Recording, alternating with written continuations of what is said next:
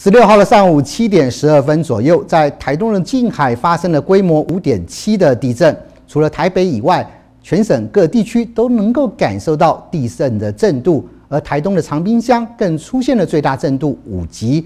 所幸这起地震并没有造成灾情的发生。今天早上七点的时候，在台东近海发生了规模五点七的地震。除了台北以外，各地区都能感受到地震。台东长滨乡则出现了最大震度五级。那它是在台东县的近海这边。那感受到最大的是的是台东县的长滨。长滨我们有个测站，它是测到是五。这次的地震让正在赶去上班的民众也受到了惊吓，有些民众则是没有感受到地震。摇的蛮大的。那时候你在做什么？我那时候刚好准准备要上班，在吃早餐。嗯，有没有被吓到啊？有，我以为我是我头晕了呢，结果才知道是地震，没有感觉，完全没有感觉。是哦，那家人有没有有没有听说有地震？没有，没都没有听说，哎，都不知道。嗯嗯，是应该不是在市中心，嗯，应该是在外海吧。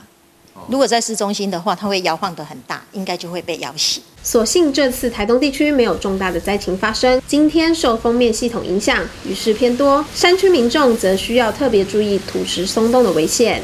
记者蔡成汉台东市报道。